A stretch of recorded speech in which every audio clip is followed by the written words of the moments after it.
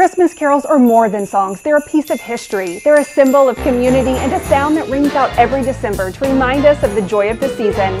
CBS Lake Charles has partnered with Calcasieu Parish School Board's Visual and Performing Arts Department to bring you the Choirs of Calcasieu Christmas Special. Hear holiday favorites performed by elementary, middle, and high school show choirs. Choirs of Calcasieu Christmas Special premieres Monday night, December 2nd at 6.30, just in time for Christmas on CBS Lake Charles.